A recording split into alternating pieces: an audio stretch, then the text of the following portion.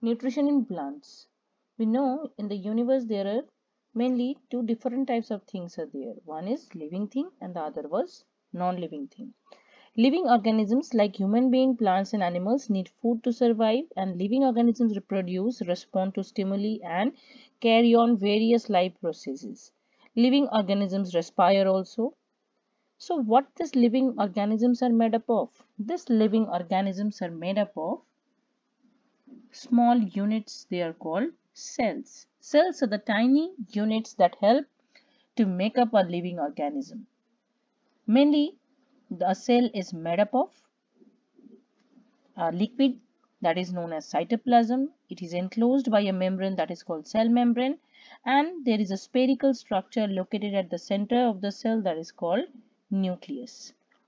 On the basis of the number of cell present in an organism, an organism may be single cellular organism or unicellular organism or multicellular organism. Now we are going to deal about nutrition. So what is nutrition? Nutrition is the mode of taking food by an organism and its utilization by the body. So how the food is taken in inside the body and how it is utilized by the body to carry on various functions. That is the main concern of nutrition. Some organisms can prepare their own food and some organisms depends on the organ other organisms for their food source. So based on this two groups of organisms can be made. One is autotroph and the other one is heterotroph. Organisms that make food by themselves, they are known as autotrophs. Plants are the mainly examples of autotrophs. What did they use? They use carbon dioxide and water with the help of light energy in the chlorophyll bearing cells of the plant and produces food that is glucose C6H12O6. Organisms that rely on others and usually take ready-made food. They are known as heterotrophs. Mostly animals and few plants are grouped in this heterotroph. What is photosynthesis? Photosynthesis is the process of production of food by the green plants with the help of carbon dioxide and water in presence of sunlight and this process takes place in the cell in a small organelle which contains a green color pigment that is called chlorophyll.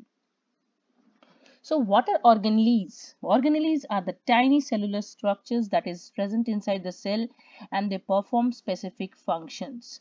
Chloroplast is an example of such organelle which contain the pigment called chlorophyll which helps in photosynthesis.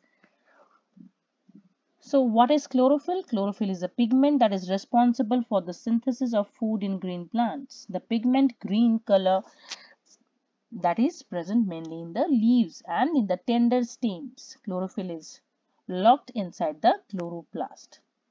So now we are going to read in detail about the process of photosynthesis. So how the photosynthesis process take place. Carbon dioxide that is present in the air that is taken in by tiny pores of the leaves called stomata, water and minerals that are carried from the roots, from the soil, the roots are taking or absorbing this water dissolving minerals to the stem and leaves. Chlorophyll helps the leaves to use the energy from the sunlight to prepare food using carbon dioxide, water and minerals. And as a result the food that is the main food of photosynthesis called glucose is produced. Along with this main food there is a byproduct that is released that is oxygen. Although it is uh, considered as a byproduct but it is very very essential for the living world because we know that oxygen is the very important gas for our respiration. Now nutrients being replenished in the soil. How? Because when the crops are grown when plants are grown nutrients are gradually taken up by the plants and used up. So how these nutrients are again getting into the soil? Plants absorb mineral nutrients from the soil in order to make their own food for other important processes. Soil needs to be enriched with nutrients such as nitrogen phosphorus and potassium. So what happens? The plants they grow they bear fruit and these plants are being eaten upon by some other organisms. And again those organisms are being eaten by some other organisms. That, that is the heterotrophs different groups of heterotrophs. And ultimately when these organisms die or they excrete what happens the material that comes again back to the soil and they get decomposed and they get again get broken down into inorganic substances which are again taken up by the plants for their use. Now you are going to read about the other modes of nutrition that is other than autotrophic nutrition which is mainly known as heterotrophic nutrition. The first type of heterotrophic nutrition is known as symbiotic relationship in which two organisms live together benefiting each other. One of the organism gives shelter and the other organism give nutrients to the other organism. An example is rhizobium. The bacteria that is called rhizobium, it is present in the root nodules of the leguminous plant. And what does they do? This bacteria can trap atmospheric nitrogen and can convert it into some dissolvable forms that can be taken by the plants. On the other hand, the plant that is a leguminous plant is giving shelter to these bacteria. So they are living in mutual relationship benefiting each other. So rhizobium we have just learned that is helping in nitrogen fixation in the leguminous plant. So what is nitrogen fixation? Nitrogen is an important nutrient required for the soil for the plants. However, nitrogen in the atmosphere is not easily accessible. Although 78% of nitrogen is present in the atmosphere, the plants cannot take these nitrogen in this elemental form. It has to be taken in some compound form. So plants cannot acquire it. These bacteria that are present in the root nodules, they convert this nitrogen into some compound, a process called nitrogen fixation.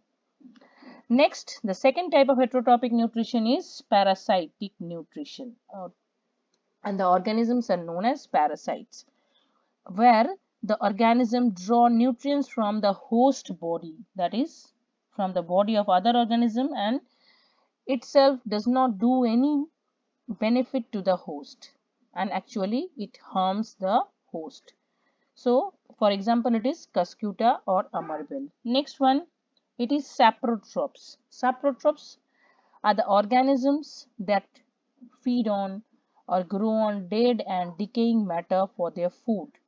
This mode of nutrition is known as saprotrophic mode of nutrition. Examples are fungi, you have seen bread mold, you have seen mushroom. They are all examples of saprotrophs. Next one is categorized as insectivorous plant. Insectivorous plants are the plants which have chlorophyll.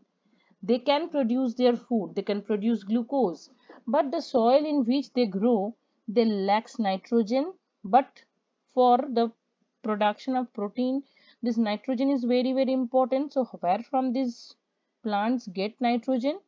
They just make their body structure into such a form that they can trap insects and they can digest these insects and can convert take the nitrogenous compound from the body of the insects. Thus they can acquire the nitrogen supply.